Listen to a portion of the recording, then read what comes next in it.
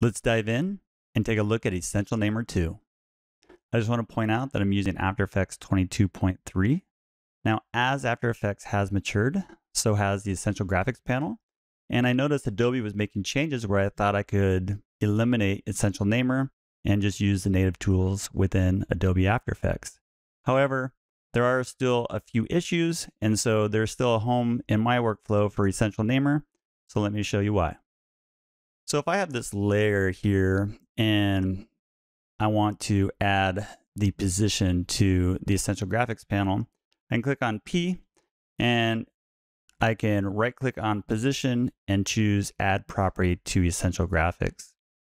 Now, in this case, I'm going to get a warning message because I did not have my current comp selected up here in the Essential Graphics panel.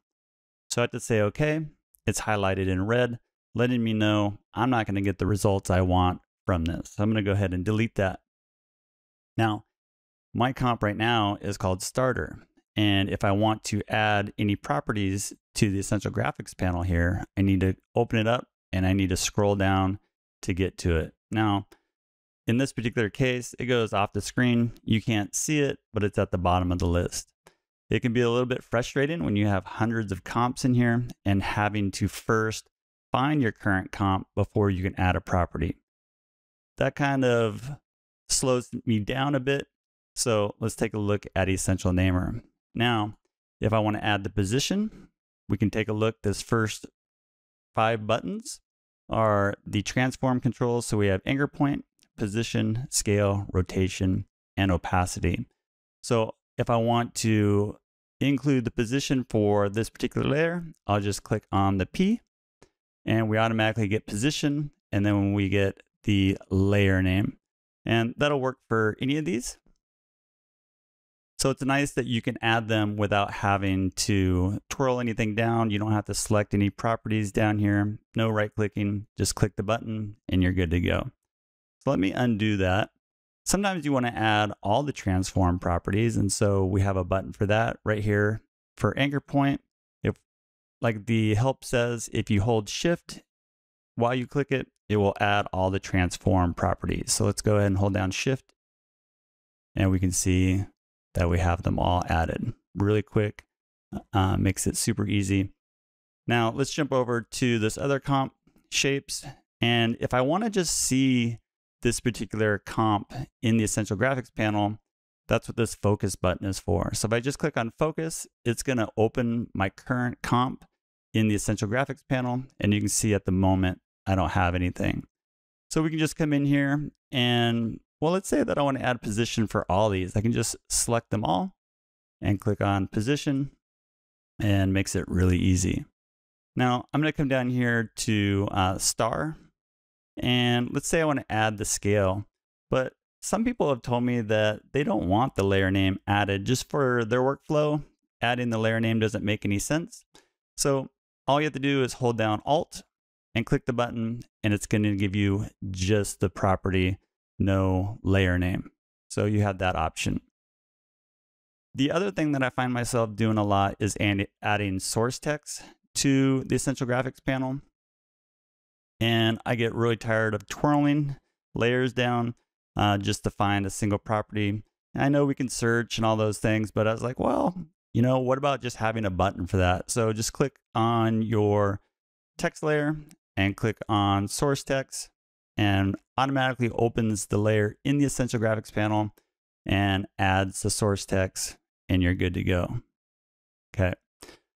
Let's take a look at what if one of my properties is not a transform property and it's not source text. Well, let's come over here to effects. So here I have a layer called box and I have a fast box blur on it.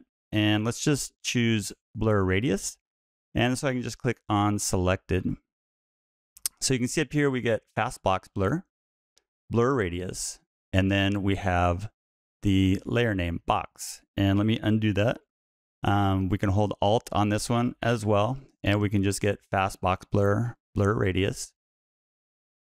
And let's take a look at one other situation where you have a little bit of control of how the name is structured up here. So if I come to the fill and just click on color, we have rectangle one, we had the color, and we have layer box. So let me click on selected, and you can see, see the naming structure. We have rectangle one, we have the color, and it's on layer box. Now I'm going to undo it and take a look at how we can change this a little bit.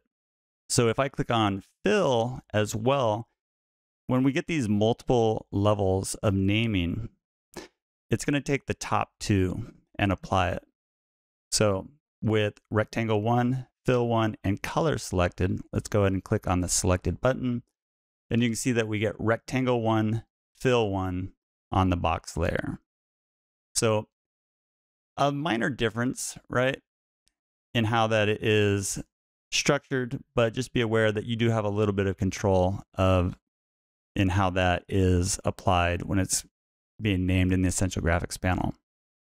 Okay, let's go back to shapes. And sometimes I found that I wanted to add a prefix and just because uh, some piece of information was not in the property and it was not in the layer name, but I wanted it added to all the names when it's added to the essential graphics. So here we have a little box for adding a prefix and I'll just call it master underscore. And so I can just click on like square and click on scale. And we can see it up here at the top. We have master underscore scale and then the layer name. And just like before, we can go ahead and hold down Alt if we just wanted to say master rotation with no layer name. Okay. And let's see, we also have on focus, like it says here, if you hold down shift and click on it, you get the little help box here and it's going to run through all the different shortcuts and what all the different buttons do. And I added help uh, when you hover over the icon, so hopefully that's useful as well. But please let me know if you find something else that you would like added to this. I'd love to hear what your ideas are. Always looking to add more functionality to this script. I think it's a nice time saver. I hope it saves you time as well.